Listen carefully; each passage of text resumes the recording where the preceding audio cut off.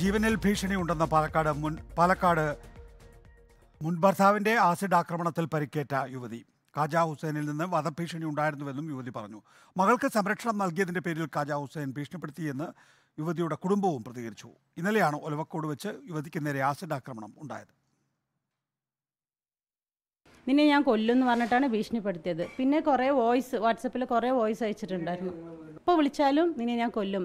എന്റെ മക്കളെ എന്റെ ഇന്ന് പിരിച്ചില്ലേ പിരിച്ചില്ലേ. നിന്റെ മക്കളെ നീ വന്ന് നോക്കിക്കോ എന്നാണ് ഞാൻ പറഞ്ഞത്. ഇന്ന് വരെ ഇന്നലെ ഇന്നലെ പോലും അയാളുടെ അടുത്ത് പറഞ്ഞു നിന്റെ മക്കളല്ലേ നീ പോയി വീട്ടിൽ പോയി നോക്കിക്കോ കുട്ടികളുണ്ട് വീട്ടിൽ എന്ന് പറഞ്ഞു.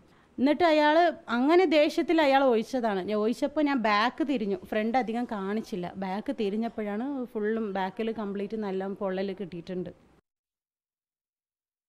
ഭയങ്കര ടോർച്ചലൊക്കെ കുട്ടിക്കുണ്ട്. പക്ഷേ കുട്ടി എട്ട് വർഷമായിട്ട് നമ്മുടെ അടുത്ത് ഇതിനെക്കുറിച്ച് ഒന്നും സംസാരിച്ചിട്ടില്ല. അച്ഛൻ ഉണ്ടാകുമ്പോൾ തന്നെ ഇവിടെ വരുമ്പോൾ നല്ല രീതിക്ക് വരും പോകും. അപ്പോൾ ആ കുട്ടി മരണത്തിന് വന്ന ശേഷമാണ് ഇപ്പം ഇത്രയും പ്രശ്നങ്ങൾ ഉണ്ടായത്.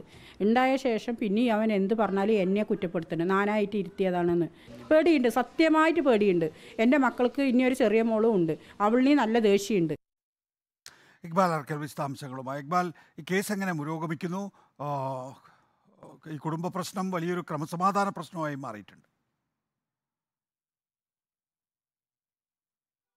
നികേഷ് ഇന്നലെയാണ് പാലക്കാട് ഒലവക്കോട് റെയിൽവേ സ്റ്റേഷന് സമീപമുള്ള താണാവിൽ വെച്ച് ലോട്ടറി കട നടത്തുന്ന ഒലവക്കോട് സ്വദേശിനിക്ക് നേരെ ഭർത്താവായ തമിഴ്നാട് ചെന്നൈ സ്വദേശി കാജ ഹുസൈൻ ആസിഡ് ആക്രമണം നടത്തിയത്. യുവതി ഇന്നലെ ഈ ലോട്ടറി കട തുറക്കാനെത്തിയ സമയത്തായിരുന്നു കാജ ഹുസൈൻ കയ്യിൽ കരുതിയിരുന്ന ആസിഡ് ഈ യുവതിക്ക് നേരെ ഒഴിച്ചത്. യുവതിയുടെ കഴുത്തിനും മുഖത്തിനുമാണ് ഈ ആസിഡ് ആക്രമണത്തിൽ പൊള്ളലേറ്റത്. ഇതിനുശേഷം ഇവർക്ക് ചികിത്സ നൽകിയിരുന്നു.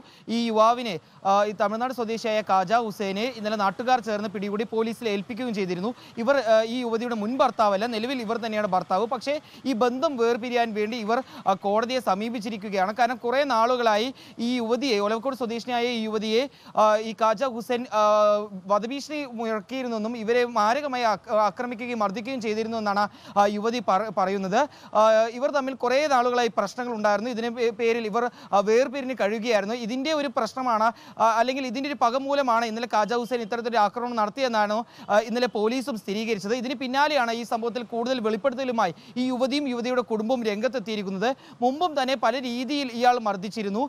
ഇപ്പോൾ തനിക്ക് നേരെ വധഭീഷണിയുണ്ട്. ഈ ബന്ധം ഈ വേർപെടുത്തതുമായി ബന്ധപ്പെട്ടുള്ള കേസ് കോടതിയിൽ ഈ മാസം ഇരുപത്തിരണ്ടിന് പരിഗണിക്കാനിരിക്കുകയാണ് ഇതിന് മുമ്പായി തന്നെ വകവരുത്തുമെന്ന് കാജ ഹുസൈൻ വാട്സപ്പ് സന്ദേശം അയച്ചിരുന്നതായാണ് യുവതി പറയുന്നത്. മാത്രമല്ല ഈ യുവതിയെ വീട്ടിൽ സംരക്ഷിക്കുന്ന യുവതിയുടെ മാതാവാണ്.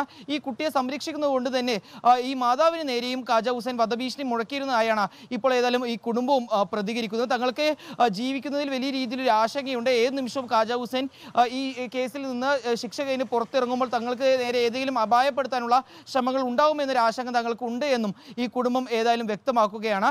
നിലവിൽ ഇന്നലെ ഉണ്ടായ ഈ സംഭവവുമായി ബന്ധപ്പെട്ട്. കാജ